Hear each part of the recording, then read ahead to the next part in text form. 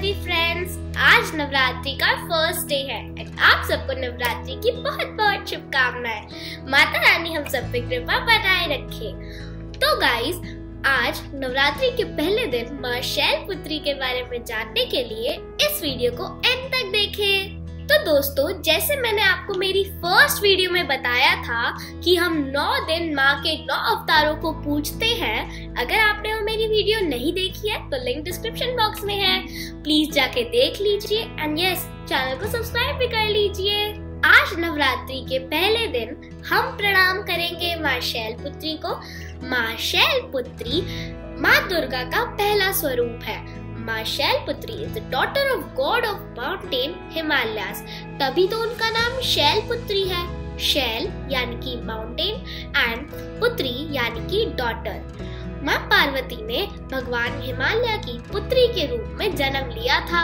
माँ शैल पुत्री की कथा कुछ ऐसी है दोस्तों कि माँ शैल पुत्री पिछले जन्म में सती माता थी एंड उनके पिता थे राजा दक्ष, जो कि ब्रह्मा जी के पुत्र थे।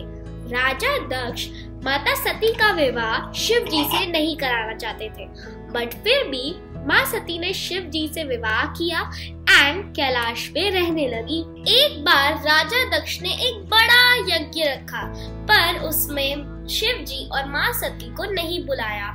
लेकिन फिर भी माँ सती वहाँ गई, पर उनका और शिव जी का वहाँ बहुत अपमान हुआ।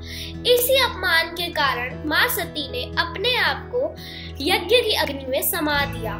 कहा जाता है कि इसके बाद भगवान शिव इतने उदास हो गए थे कि उन्होंने सती माता का आधा जला शरीर उठाकर पूरे ब्रह्मांड के चक्कर लगाए एंड भगवान विष्णु ने अपने सुदर्शन से उसके इक्यावन हिस्से कर दिए, जो अलग अलग जगह गिर गए एंड उन्हें आज शक्ति पीठ के नाम से जाना जाता है। माँ शैलपुत्री अपने एक हाथ में त्रिशूल धारण करती है और एक में कमल का फूल। आज के दिन भक्त माँ शैल पुत्री के चरणों में शुद्ध घी अर्पण करते हैं और वो ऐसा मानते हैं कि शुद्ध घी अर्पण करने से उनकी ज़िंदगी में सुख और समृद्धि आएगी। तो फ्रेंड्स अगर आपको ये वीडियो पसंद आया हो तो please like share and subscribe ज़रूर करें।